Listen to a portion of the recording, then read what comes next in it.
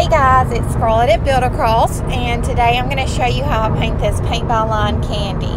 I'm going to go in first with the color Barn Red, and I'm going to paint every other section in this color. All of the colors that I'll be using today are Dixie Belle chalk paint. So if you guys would like to check out that paint, we have over 64 different colors on our website, and um, so you can check that out there. It's a really great coverage paint. It's my number one recommended paint uh, just because of the coverage, honestly.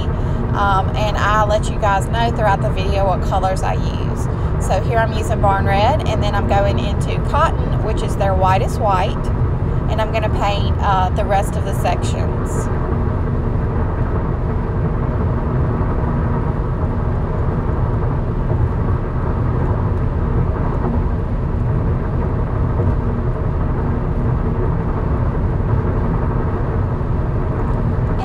After that, I'm going to go in with the color Savannah Mist and paint the little plastic wrappers on the side. And Savannah Mist is my favorite gray color that I use out of the Dixie Belles.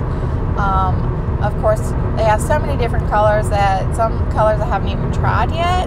But um, as out of the colors that I've used so far, Savannah Mist is definitely my favorite gray. It's just a really true gray. Um, they also have grays that kind of have a little bit of a green tint. I think that's why I like this one so much is because it's true gray.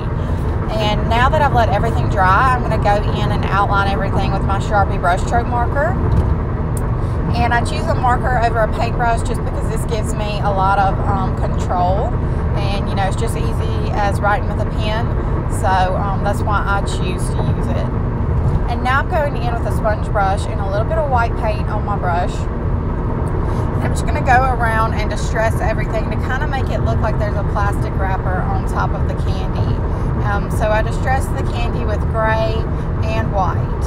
And then after that, I'm done. I hope you guys enjoy this tutorial and make sure to have a great day.